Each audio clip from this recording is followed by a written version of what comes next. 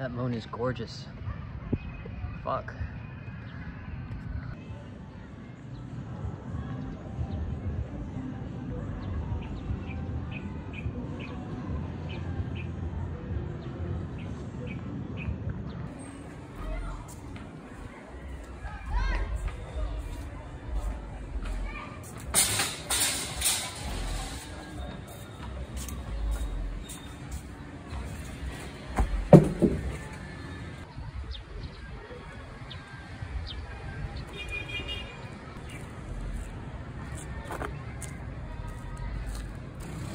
Look, it's almost sunset.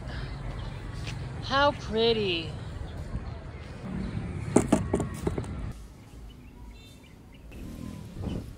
So lately, I've been dealing with getting over desire in order to um, reach my goals and live the kind of life that I want to live.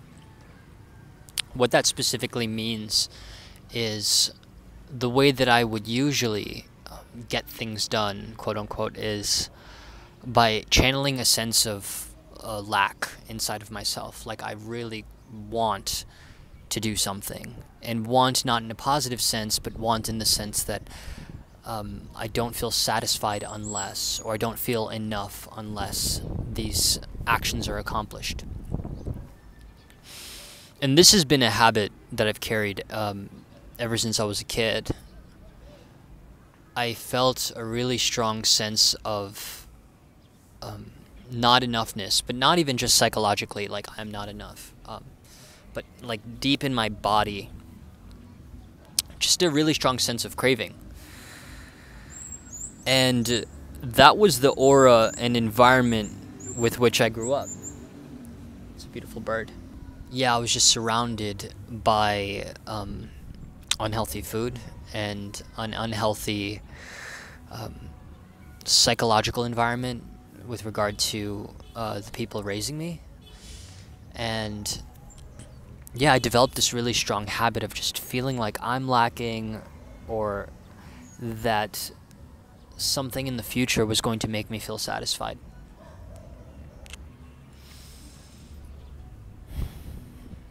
And I identified with this feeling to the point where I would enjoy feeling this way because I was inspired by the effort that it would take for me to achieve my goals and then ultimately reach this state of satisfaction. And I realized recently that where that leaves me is, after 20 years, um, where that leaves me is feeling like I'm not enough day after day after day, um, hour after hour,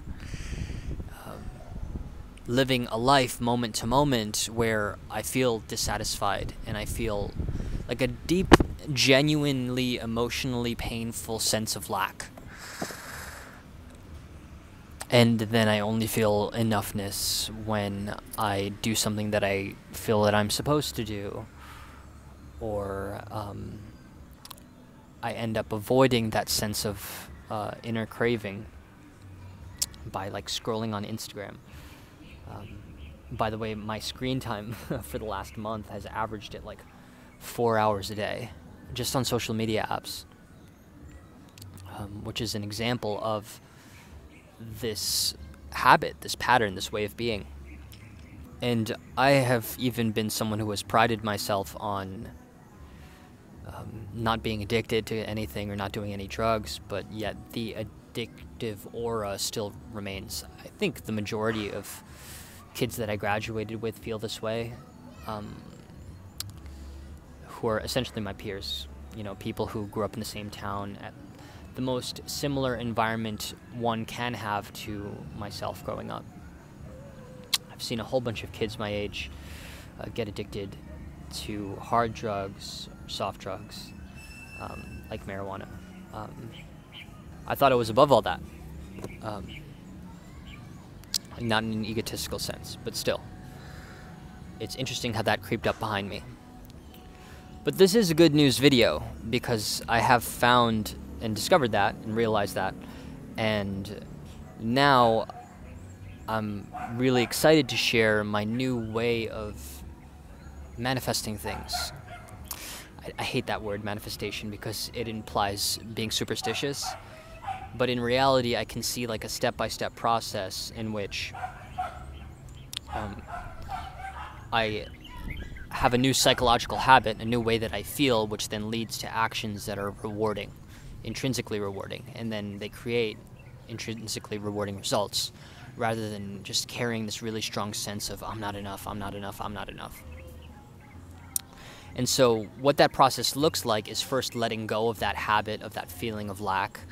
I have to, even before that, allow myself to feel that way. A lot of the time, I am avoiding that feeling.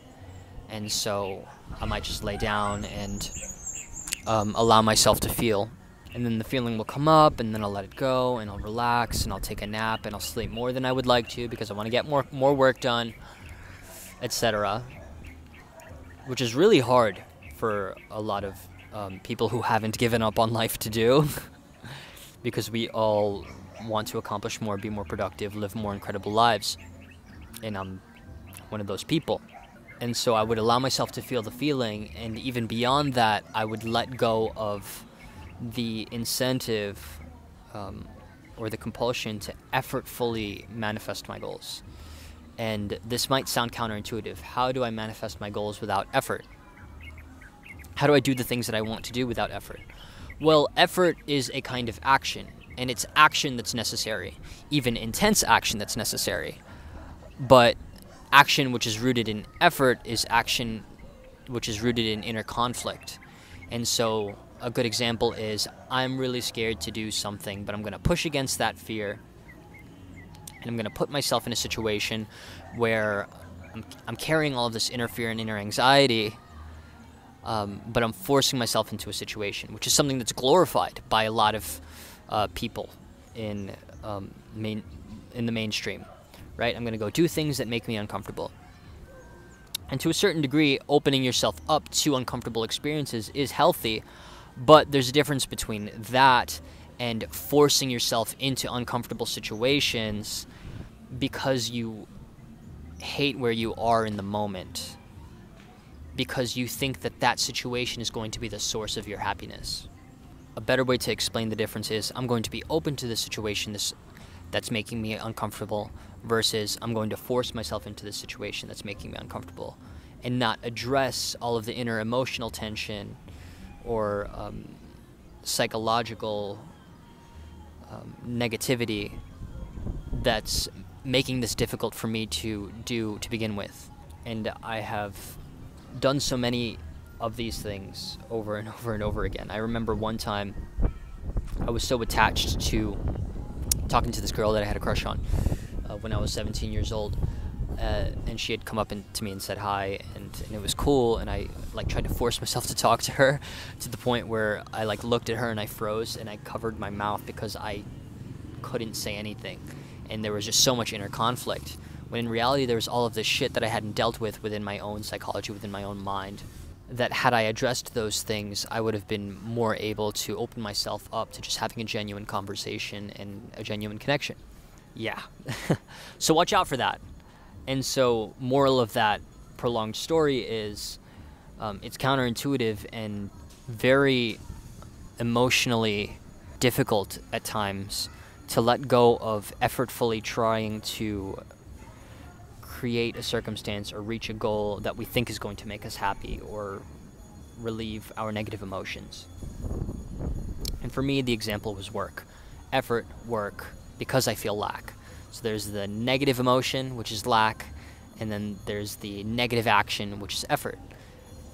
And then it leads to negative destructive behavior, which is um, me draining all my energy, feeling like shit, forcing myself to do things that I don't want to do. What's the solution? um, the solution is living in heaven, um, and not in a religious sense, but in the sense of like there is this state of being that we wish we were all in, where life was just easy. And a lot of people who have gone through a lot of trauma in their life um, and who are preoccupied with a negative frame of mind don't believe that life can actually be easy.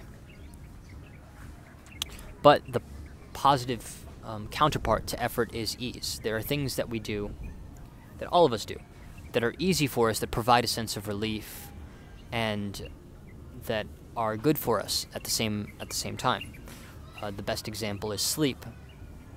You need to be in a state of ease to get into sleep, and um, you need to be in a state of ease to allow somebody to hug you.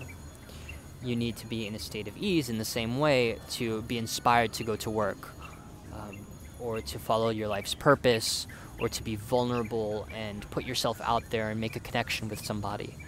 Um, effort channels an inner sense of negativity and makes these situations more difficult.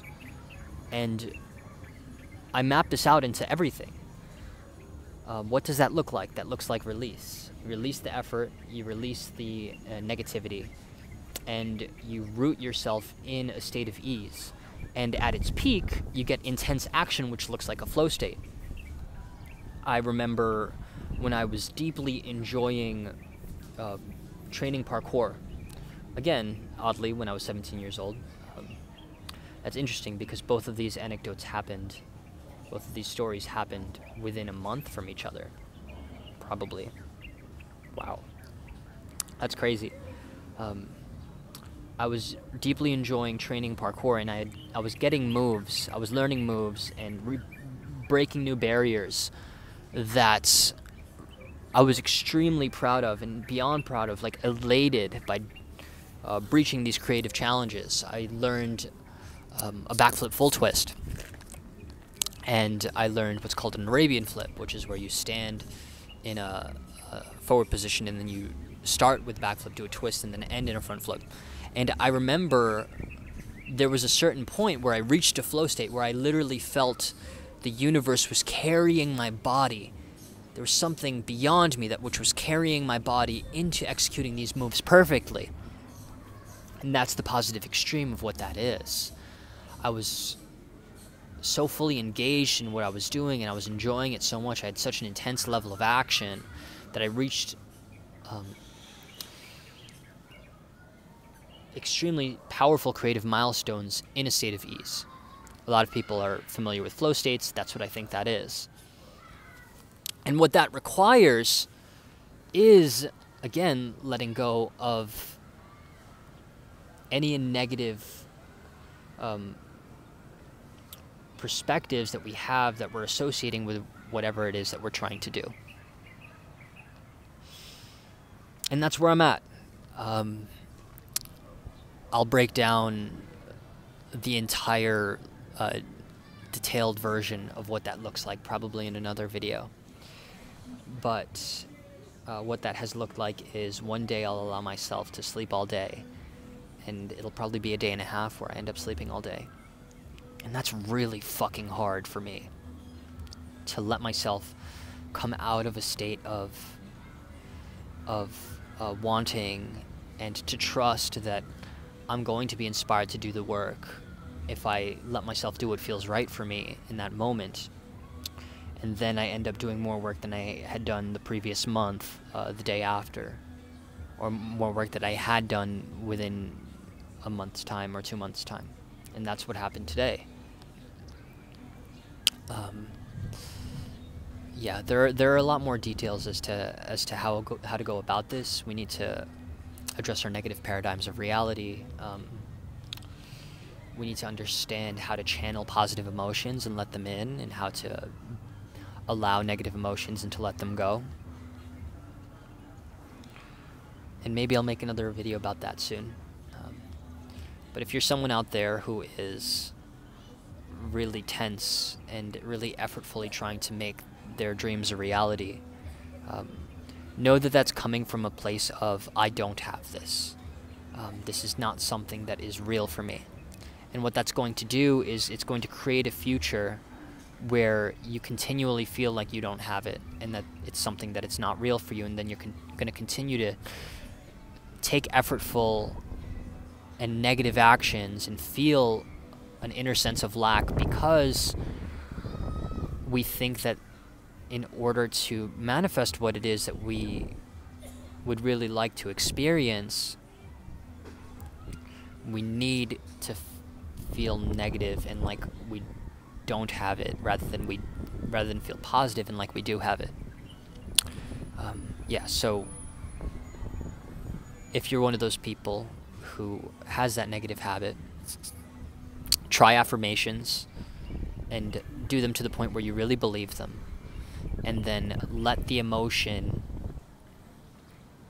of satisfaction having your goals be a reality um, come to you now and then watch your body relax. And let your body relax and allow inspiration to take hold. And remember the key is to release effort and to root in ease.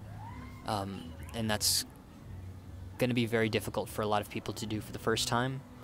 Um, a lot of negative beliefs are going to come up in your mind and you're going to have to address them and if you have any questions about them i can answer them because i ask myself hundreds of thousands of questions about these things. Um, but yeah. Try it out and uh, good luck.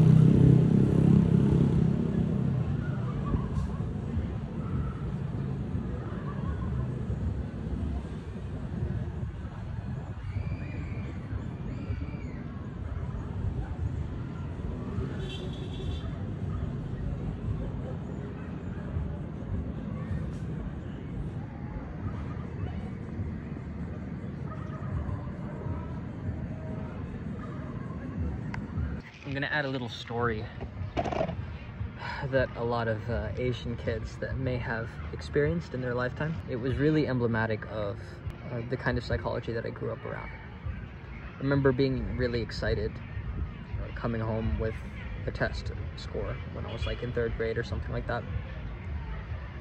And I got a 97 out of 100 and I was proud of myself and excited and I was excited to show my father and he looked at the test and um, he smiled and he he asked me what happened to the other three points. And that was a lot for me. I still remember that to this day. I was in like third grade or something. And like yeah boohoo me whatever. Uh, it, it's not what i'm trying to do here. I'm just trying to explain that it's like that is the kind of mind that i grew up around and that has influenced me instead of uh, seeing the glass as 97% uh, full, he saw it as uh, 3% empty. And th- I think that's a lot of where this motivation comes from. It's like, am I going to channel feeling empty in order to get to where I want to go? Or am I going to channel fullness and like live a life that makes me feel full now and um, more and more into the future, there are bats that are flying around. And that's a completely different mindset. Because not only do you get empowered to manifest more things because you feel a sense of fullness, but you get to feel like you've won and like you're enough and healed and all that good stuff now. You get to feel it now. And you don't have to wait. Um, and you don't have to see life as an addiction or an attachment um, or your goals as something that you need in order to feel like you're enough.